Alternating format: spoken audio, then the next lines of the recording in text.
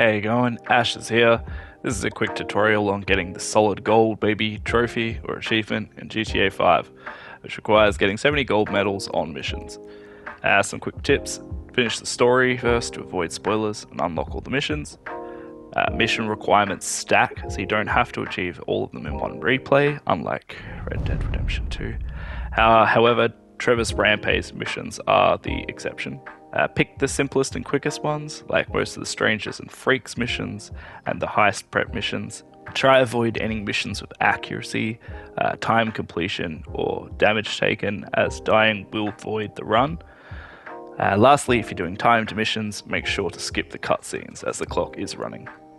Uh, to replay, hit Options, head over to Game, and then select Replay Mission or Strangers and Freaks.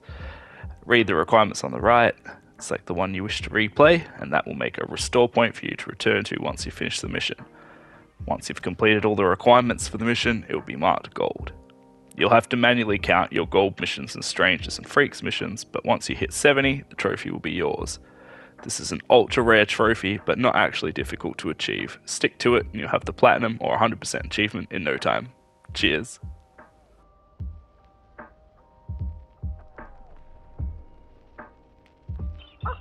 Over there.